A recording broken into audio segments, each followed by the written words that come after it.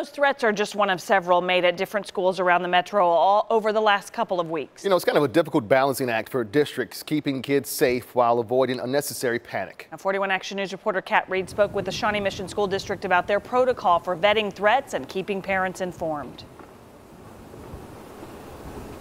Krista Kevin, just last week, the district and police here had to investigate a potential threat against Shawnee Mission South. Well, as it turns out, it was actually for a school on the East Coast with the exact same initials. That's just one of the challenges that administrators face because of social media.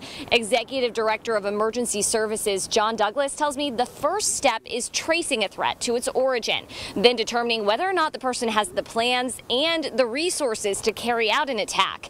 While they can track the threats once they get them, they rely on people who see the post to send them in and share any other information they have. The way these are solved is no great secret. They almost always tell somebody, and it's absolutely imperative that that somebody tells us. And Douglas says over the past couple years, they have received about a dozen threats. Only three of them were credible, but they were able to determine which threats were credible because of the information that parents and students sent in. So they encourage you to keep doing that. Reporting live at the Shawnee Mission School District, Cat Reid, 41 Action News.